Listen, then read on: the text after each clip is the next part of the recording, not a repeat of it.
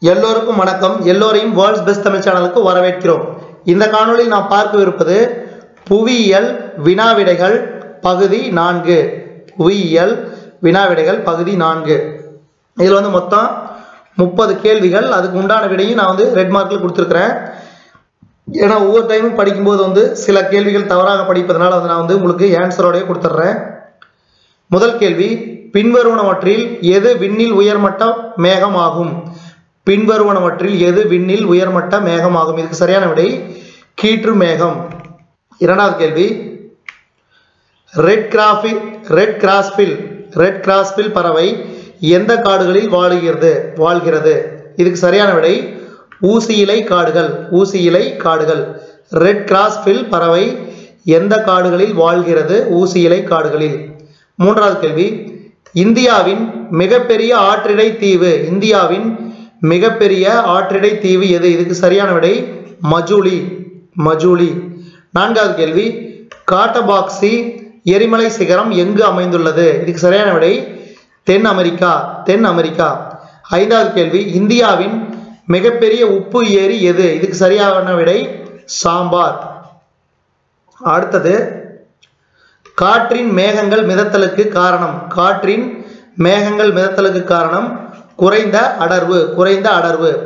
அடுத்தது ஏழாவது கேள்வி. எந்த பெருங்கடலில் அஜோஸ் தீவுகள் அமைந்துள்ளன? இதுக்கு சரியான விடை அட்லாண்டிக் பெருங்கடல் அட்லாண்டிக் பெருங்கடல். அடுத்தது இயற்கை வளங்களின் சீரழிவுக்கு முதல் படியாக அமைவது எது? இயற்கை வளங்களின் சீரழிவுக்கு முதல் படியாக அமைவது வேட்டையாடுதல். அடுத்தது ஒன்பதாவது கேள்வி. இந்தியாவில் வறட்சி பாதிப்பு பகுதி திட்டம் அதாவது டிபி நல்லா ஞாபகம் வச்சுங்க. டிபிஏபி இதான் வந்து வறட்சி பாதிப்பு பகுதி திட்டம் தொடங்கப்பட்ட ஆண்டு ஆயிரத்தி தொள்ளாயிரத்தி எழுவத்தி மூன்று ஆயிரத்தி தொள்ளாயிரத்தி எழுவத்தி மூன்று. அடுத்தது பத்தாவது கேள்வி. பின்வரும் தேசிய பூங்காக்களை கவனி. கியோலதியோ தேசிய பூங்கா டாட்சிகாம் தேசிய பூங்கா கிர் தேசிய பூங்கா மானாஸ் தேசிய பூங்கா. மேற்கண்ட தேசிய பூங்காக்களில் எது எவை கடகரேகைக்கு வடக்கில் அமைந்துள்ளது? சரியான விடை ஒன்று இரண்டு நான்கு. ஒன்று இரண்டு நான்கு. கிரு தவிர மீதி மூன்றும் அடுத்தது. பதினோராவது கேள்வி. ஆரவள்ளி மலைத்தொடரில் உள்ள உயரமான சிகரம் குரு சிகார். குரு சிகார். ஆரவள்ளி மலைத்தொடரில் உள்ள உயரமான சிகரம் குரு சிகார். அடுத்தது. பின்வருவனவற்றுள் எது குறைவான மக்கள் தொகை பரவல் கொண்ட பகுதி அல்ல? இதுக்கு சரியான விடை. தென்கிழக்கு ஆசியா. அடுத்தது. பிரம்மபுத்திரா ஆறு சாங்போ என்ற பெயருடன் தீவுத்தில் உருவாகிறது. சா சாங்கோ என்ற பெயருடன் தீவுத்தில் உருவாகிறது. அடுத்தது நீலத்திமிங்கலம் இங்கு காணப்படுகிறது. சரியான விடை அண்டார்டிக் கடல் அண்டார்டிக் கடல். அடுத்தது அமேசான் மற்றும் காங்கோ ஆறுகள் பாய்கின்ற மண்டலம் புவியிடை கோட்டு மண்டலம் புவியிடை கோட்டு மண்டலம். அடுத்தது இந்தியாவில் வடக்கு மற்றும் வடமேற்கு வடமேற்கு பகுதியில் கோடை காலத்தில் பகல் நேரத்தில் வீசும் வலிமையான வெப்பக்காற்று இவ்வாறு அழைக்கப்படுகிறது. சரியான விடை லூ. இரவு வானில் திடீரென ஏற்படும் ஒளிக்கீற்று இவ்வாறு அழைக்கப்படுகிறது. இதுக்கு சரியான விடை எரி நட்சத்திரம். அடுத்து இந்தியா நாட்டின் இந்திய நாட்டின் நிலப்பகுதி எத்தனை சதுர கிலோமீட்டர் ஆகும்? முப்பத்தி இரண்டு லட்சத்தி எண்பத்தி ஏழாயிரத்தி இருநூத்தி அறுபத்தி மூன்று சதுர கிலோமீட்டர் தான் வந்து பார்த்தீங்கன்னா இந்திய நாட்டின் நிலப்பகுதியின் சதுர கிலோமீட்டர் ஆகும். அடுத்தது உலக சர்க்கரை உற்பத்தியில் பதினைந்து சதவீத பதவீத பதினைந்து சதவீதத்தினை இந்தியா கொண்டுள்ளது. அடுத்தது உப அயன வறண்ட கோடை பருவ காலநிலை இவ்வாறும் அழைக்கப்படுகிறது. இதுக்கு சரியான விடை மத்திய தரைக்கடல் காலநிலை. இருபத்தி ஒன்றாவது கேள்வி பால்வெளி அண்டத்தின் விட்டம் சுமார் பத்தின் அடுக்கு ஐந்து ஒளியாண்டுகள் ஆகும். பத்தின் அடுக்கு ஐந்து ஒளியாண்டுகள் ஆகும். உலக வானிலை ஆராய்ச்சி மையத்தின் தலைமையகம் அமைந்துள்ள இடம் ஜெனீவா.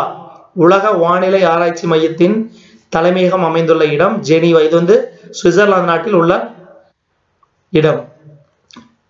தென் வியாபார காற்று புவியிடை கோட்டை கடந்த பின் வலதுபுறமாக விலகிச் செல்கிறது என்பதை கூறியுள்ள விதி ஃபெரல்ஸ் விதி. இருபத்தி நான்காவது கேள்வி.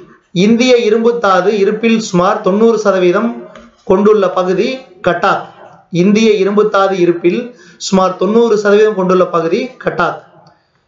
கீழ்கண்டவற்றுள் எவை கடலடி படிவுகளில் முதன்மையானவை? இதுக்கு சரியான விடை மேற்கூறிய அனைத்தும். அடுத்தது இருபத்தி ஆறாவது கேள்வி. ஆற்று நீரில் காணப்படக்கூடிய உப்பின் சதவீதம் இரண்டு சதவீதம் இரண்டு சதவீதம். அடுத்தது இருபத்தி ஏழாவது கேள்வி.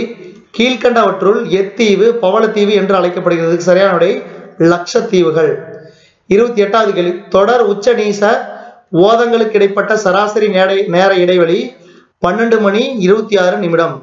சிம்பிளிபால் என்பது உயர் அடுக்கு வளம். சிம்பிளிபால் என்பது உயர் அடுக்கு வளம். அடுத்தது இந்த காணொளியின் கடைசி கேள்வி. கடலின் மேற்பரப்பு பெறும் தினசரி சராசரி வெப்ப வீதம் ஒரு டிகிரி செல்சியஸ். ஒரு டிகிரி செல்சியஸ்.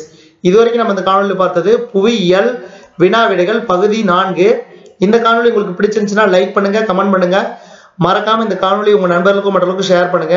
நம்ம வேர்ல்ட்ஸ் பெஸ்ட் தமிழ் சேனலை இது வரைக்கும் சப்ஸ்கிரைப் பண்ணாதீங்க சப்ஸ்கிரைப் பண்ணிக்கங்க. கீழே இருக்கிற பெல் பட்டனை பிரஸ் பண்ண மறந்துடாதீங்க. நம்ம வேர்ல்ட்ஸ் பெஸ்ட் தமிழ் சேனல்ல புவியியல் வினா விடைகள் பகுதி நான்குக்கான காணொலியை நம்ம வேர்ல்ட்ஸ் பெஸ்ட் தமிழ் சேனல்ல பார்த்தமைக்கு நன்றி.